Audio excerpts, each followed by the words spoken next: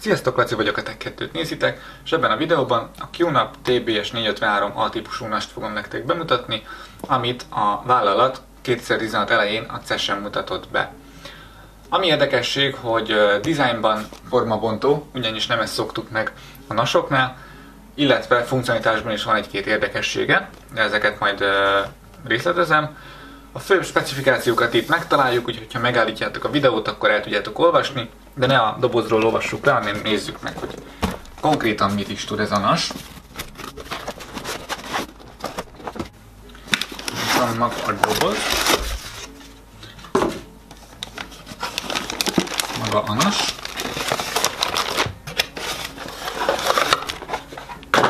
És nézzük meg a tartozékokat. A felső kategóriás QNAP nasoknál megszoktuk, hogy van távirányítónk, áramforrás csatlakozó, vagyis kábel, illetve van kettő darab gigabites Ethernet kábelünk, ami sose rossz, hogy van. Mindig örülünk.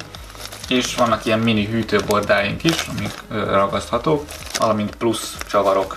És tulajdonképpen ennyi, ami a dobozban található.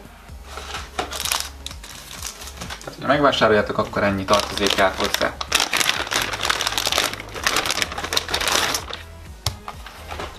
És itt van maga a nas, ahogy láthatjátok tényleg forma bontó, hiszen eddig ilyen álló nasokat láthattunk, amivel 2,5-3,5 incses HDD-k vagy SSD-k mentek, viszont ebbe M.2 2-es SSD való, tehát így a méretben tudtak egy kicsit redukálni, és tényleg egy kompaktabb, kicsit hordozhatóbb is, de mivel áramforrást igényel, nincsen benne külön aksi, ezért hát úgy félig hordozható.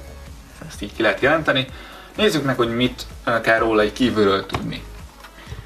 Ja, a portokat illetően az elején van kettő darab USB 3.0, illetve egy SD kártya slotunk, és mellette van egy gomb. Hogyha valamelyik slotban van arattároló, akkor a gomb megnyomására a legfontosabb aratokat le tudjuk könnyen menteni. Ez erre szolgál. A bekapcsoló gombunk, illetve hangerő le, hangerő fel szabályzó, ugyanis van beépített hangszórója a NAS-nak. Mondtam, hogy érdekes. Oldalt találjuk, találjuk a hűtőrácsokat, illetve egy USB 2.0-as portot. Hátul van a legtöbb nyalánkság, nézzük őket sorban. Kensington zár, reset gomb, két HDMI bemenet, kettő darab USB 3.0, 3,5 mm-es jackek, ugye ki és bemenet, illetve 5 darab Ethernet port, valamint az áramforrásnak a csatlakozó portja. És ugye beszélek egy kicsit az Ethernet portokról. Ugye ez a NAS egyébként um, forgalomirányítóként, routerként is működik, tehát hogyha ide bekapcsoljuk a, a netforrást, akkor az internetet és a NAS-nak az erőforrásait, a rajta tárolt adatokat akár négy számítógépre meg tudjuk osztani, de akár egy IP kamera rendszert is ki lehet alakítani ennek a NAS-nak a segítségével, tehát így tényleg multifunkciós hálózati adattárolóvé válhat ez a kis NAS. És itt oldalt hát csak a hűtőrácsokat találjuk, semmi más egyebet. Alul pedig mindössze a tapadó korongokat találjuk. De akkor hogy is juthatunk bele a NAS-ba? És ez egyébként egy tök jó megoldás, mert így semmi csavar, semmi olyan felületet nem látunk, ahol meg lehetne bontani az egészet, viszont nagyon ügyesen elrejtették a csavarokat, úgyhogy bontsuk szép, nézzük meg, hogy milyen csatlakozó felületeket találunk benne.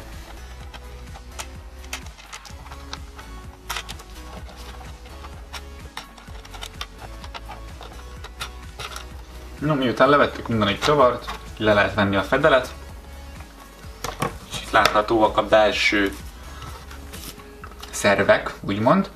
De látható, hogy van kettő darab uh, ramkártyánk, ez most éppen azt hiszem kettő darab 2 GB-os uh, ramkártya, és ez SODIM bekötve, és DDR3L-es ramkártyákról van szó. Igen, az éppen 2 GB-os, és így, hogy kivettem, láthattátok, hogy bővíthető, tehát akár 4x2 GB is lehet bővíteni így a ramot. A processzor az adott, tehát az egy Intel Celeron N3150-es processzor, azt nem lehet nyilván cserélni. Van itt egy kis beépített hűtőnk, ami egyébként elvileg halk. úgyhogy nem fog nagyon zavarni minket. És ugye itt vannak az SSD slotok. Ugye maga egy M2-es, M.2 es SSD az kb. ekkora, és 128 GB-os, és ahogy láthatjátok, négy slotunk van, tehát négy ilyet tudunk belerakni. Egyébként nem csak ezt a méretet támogatja, hanem az összesen a 2242, 2260 és 2280-as méretkategóriájú M.2-es SSD-ket támogatja ez a NAS, és uh, tulajdonképpen így ennyit kell tudni belülről, tehát ezek a bővíthetőségi lehetőségek.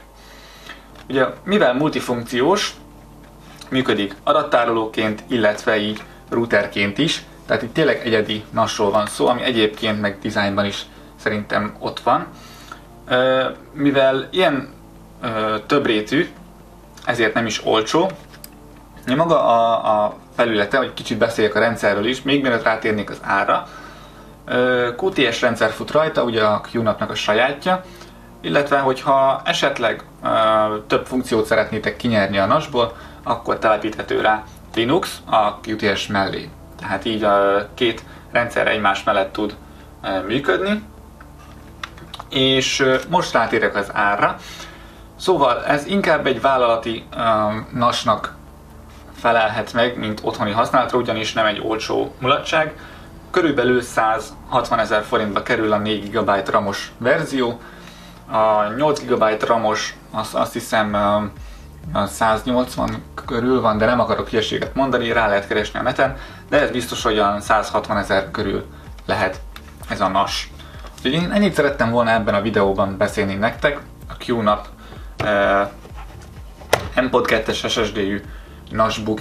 Ha tetszett a videó, akkor ne felejtsétek el feliratkozni, lájkolni, ha nem tetszett, nyugodtan diszlájkoljátok, ha pedig kérdés van, tegyétek fel kommentben. Én Laci voltam, köszi, hogy megnéztétek, szavaztok!